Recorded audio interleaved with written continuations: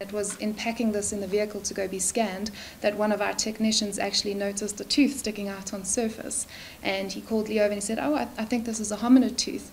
And he was right. And when we scanned it, we realized that there was more than just a tooth, there was so many other bones of this individual in here.